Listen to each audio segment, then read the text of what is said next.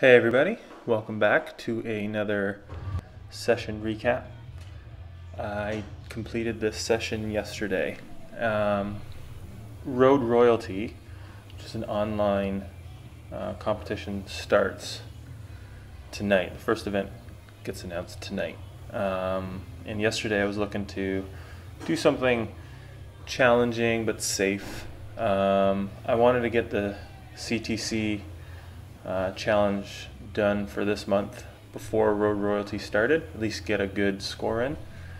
Um, but I went with a, a, rate restricted effort. So my goal was to sit on 24 strokes per minute throughout.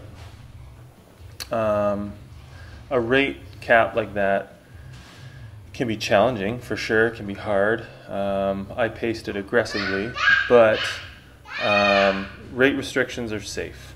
Um, there's some safety in knowing that you don't, um, you're not going to blow the doors off. You're not going to crush yourself um, because you can only go so fast at certain rates. And when you're pacing it, even if you're going hard, like the way I was, um, this was a short enough effort where uh, the sting was manageable. The uh, the discomfort level was was very tolerable. Um, it's only so many strokes, so this is this is actually a, a fun power uh, interval session uh, to get done.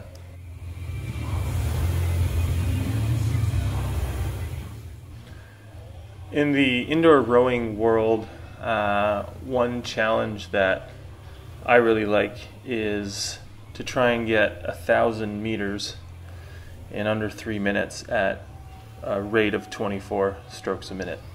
Um, the first time I was exposed to this, it's kind of a variation of it. Cam Nichol from Rowing WOD uh, programs three minutes at 24 strokes a minute. Obviously, a big target would be to hit 1,000 meters.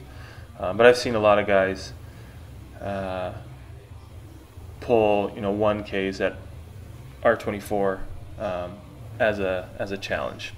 Um, in this case, with starting with a thousand, uh, I I've never been below a 130 split for a thousand meters at this rate.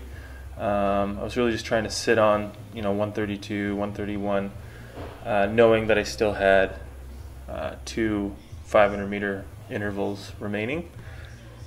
Um, so this felt good. This was not did not crush me. Um, I thought I would have struggled a little bit more in the legs late, uh, but it never never hurt more than it than it did midway through. Like the pain never got any worse. So to finish, uh, you know, close to mid 131 average on this uh, was a great start, and I still felt really good uh, with two 500 meter intervals remaining.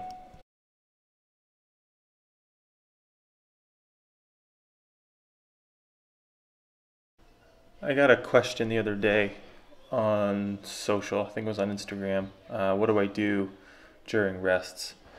Um, as you can see, I like to sit. Sometimes I walk around. Uh, my wife said I looked kind of like a like a duck when I walk. Thanks, honey.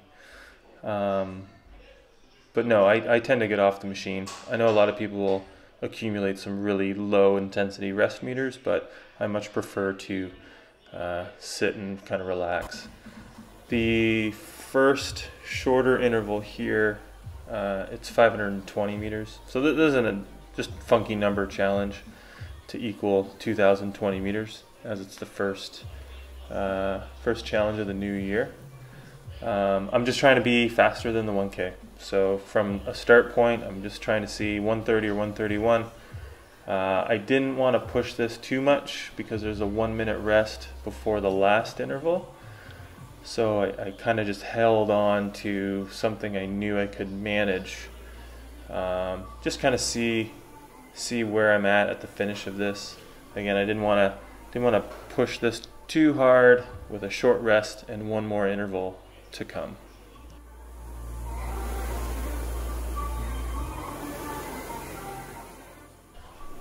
I was using ErgData for this session. The stroke counter uh, is you know, pretty big and visible, and I'm used to it. Um, ErgZone has a stroke count feature as well. Uh, I use ErgData to start most sessions anyways, um, just because it's it's really easy to check the drag factor um, on a just row setting. So I just kind of kept with it and used it. And you know, I, I loosely used the stroke counter. Uh, I was over on everything. I hit 25 strokes per minute uh, across the board on this session, even though my cap was 24. I was only like a few strokes over each time, just happened to average out that way. Done two now. That was a uh, that was right where I thought I would be, kind of you know low to mid 130s. Um, short break. Still sat down to get a quick drink of water, change the song, and getting ready to hit the third one.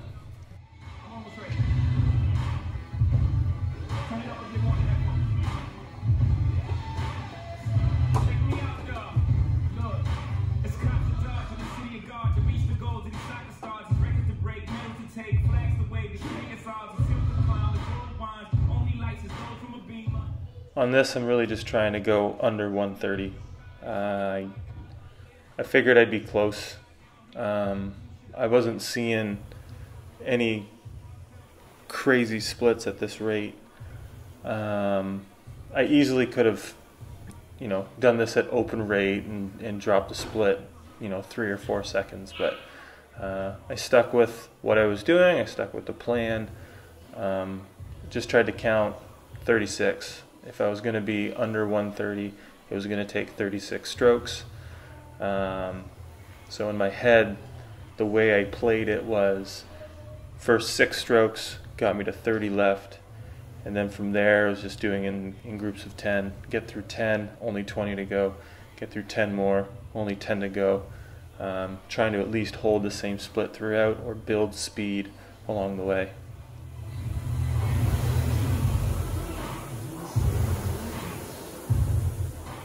My infamous leg tap was present uh, at the end of almost every rep. So definitely as fatigue set in, that little handle drop, extra breath uh, came on. I didn't realize how often I do it. So I think doing these session recaps has, have been good for uh, you know reanalyze or analyzing my own technique and my own little faults and whatnot. I don't know if it's necessarily a fault, um, I don't know. What do you think? Should I clean it up?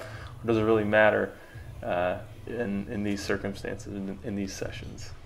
Uh, finished under 130, right where I was hoping to be. Good average. Uh, as of this video, I think I'm on top of the CTC leaderboard, which is nice considering this was a, a rate restricted effort.